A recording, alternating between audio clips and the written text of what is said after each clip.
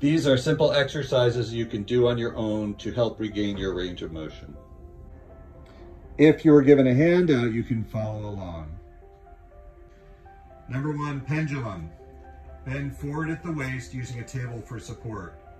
Rock your body and move your arm in a circular pattern. Do 10 clockwise, 10 counterclockwise, three sessions per day. 2A, assisted shoulder flexion.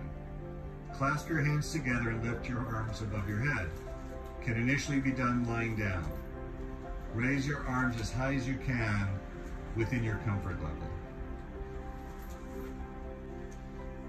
2B, assisted shoulder flexion. Clasp your hands together and lift your arms above your head. As pain decreases, you can progress to this sitting position. Raise your arms as high as you can within your comfort level. Repeat 10 to 20 times, three sessions per day.